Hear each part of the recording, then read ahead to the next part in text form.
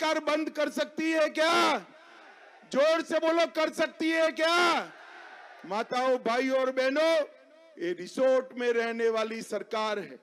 अपनी ही सरकार बचाने के लिए बार बार एमएलए को उठाकर रिसोर्ट में ले जा रहा है। अब जो अपनी ही सरकार नहीं बचा सकते, वो हमारी सीमाओं को बचा सकते हैं क्या? बचा सकते हैं क्या? भाइयों और बहनों, मैं आज कहने आया हूँ, एक कांग्रेस पार्टी ने तुष्टिकरण की राजनीति की इंतहा कर दी है। इतने सालों से देश आज़ाद हुआ तब से, साढ़े पाँच सौ साल पहले अयोध्या में राम जन्मस्थान तोड़ दिया था बाबर ने, मगर कांग्रेस पार्टी राम मंदिर के मुद्दे को लटका रही थी। अटका रही थी, भटका रही थी।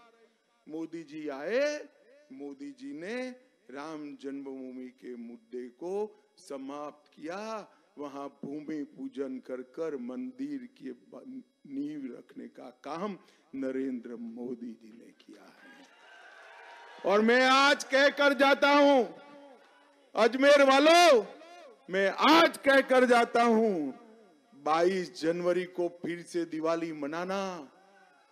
मालूम है क्या है? मालूम है? 22 जनवरी को मोदी जी अयोध्या में राम मंदिर में राम लल्ला की प्राण प्रतिष्ठा करने वाले हैं।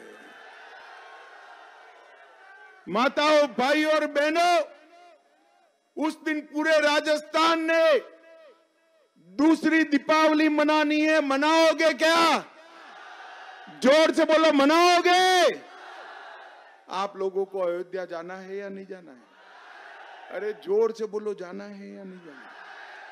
मैं आपको कहता हूँ, हमने चुनाव घोषणा पत्र में वादा किया है कि राजस्थान के लोगों को राजस्थान सरकार बारी बारी सभी को अयोध्या ले जाने का काम करेगी, आपको खर्चा नहीं। भाई और बहनों, ये तुष्टिकरण करने वाली कांग्रेस पार्टी, मोदी जी ने ट्रिपल तलाक को समाप्त कर दिया। मोदी जी ने पीएफआई पर बैन लगा दिया। मोदी जी ने राम मंदिर की नींव कर रखकर राम मंदिर को बनाने का काम पूरा कर दिया और मोदी जी ने धारा 370 हटाकर कश्मीर को हमेशा के लिए भारत का हिस्सा बना दिया। मुझे बताओ, ये कश्मीर हमारा है या नहीं है? धारा 370 हटनी चाहिए थी या नहीं हटनी चाहिए थी?